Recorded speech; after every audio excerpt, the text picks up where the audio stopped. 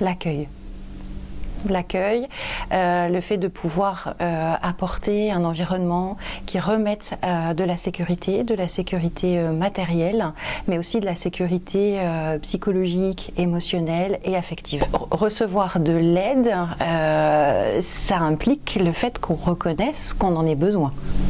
Voilà.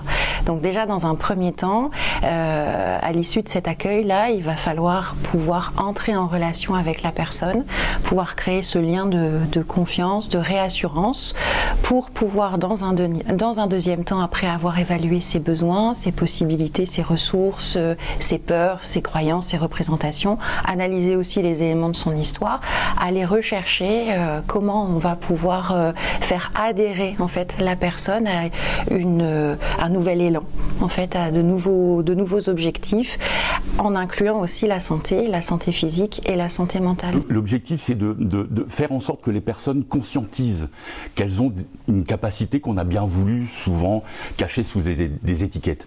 Que la personne puisse se dire je suis capable de, j'ai fait, et que puis en, ensuite nous on puisse se servir de ça comme capital, comme capitalisation, de dire à la personne mais là vous vous sentez pas capable, mais rappelez-vous la fois d'avant, il y a quelques jours, la semaine dernière, vous avez été capable de.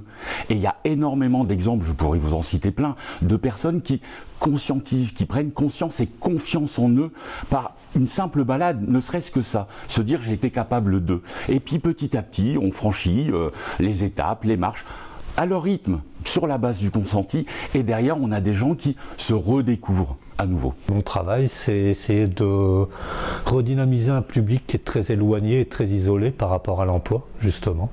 Dans notre société où le monde de l'image et le monde du travail est une valeur, eux se retrouvent euh, un petit peu en dehors.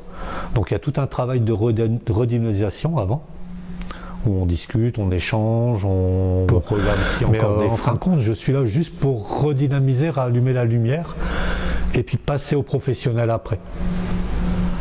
Et je reste rallumer la lumière, ouais. Parce que dans leur regard, en fin de compte, quand ils arrivent ici, la lumière elle est éteinte, généralement. Et l'emploi, c'est. Et l'emploi, c'est aussi se retrouver euh, dans une société où tout le monde travaille. Alors, ils ont des fausses a priori où je gagne mieux quand je suis au RSA et tout ça, c'est faux. C'est ce qu'on fait croire aux gens, mais c'est pas vrai, ils s'en sortent pas mieux, on s'en sort mieux quand on travaille.